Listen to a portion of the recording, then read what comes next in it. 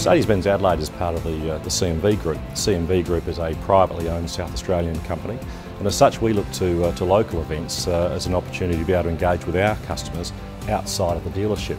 The World Tennis Challenge was a wonderful opportunity to be able to do that. It's a very unique event on the Australian tennis calendar and uh, it's a wonderful opportunity for us to be able to, to invite our clients along to something that's completely different. The Tennis Challenge was fantastic for us because it, uh, it gave us the opportunity to, uh, supply 10 vehicles for use by the, uh, the, uh, the, South Australian Tennis Association to be able to ferry the various players and officials around with. I'm Phil Hoffman uh, and I've been a Mercedes-Benz Adelaide client for about 10 years and I love being part of Mercedes uh, people.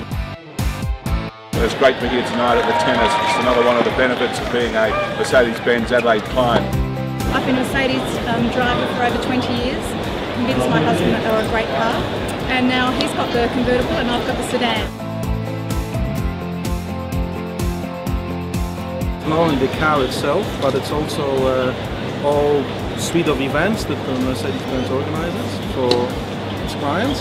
So not only events like this in Adelaide, but driving uh, Mercedes-Benz AMG cars in the Arctic Circle to tours of Tuscany to uh, events in Phillip Island. So uh, apart from being here and uh, driving a wonderful car, I look very much forward to also participating in some of those events in the future.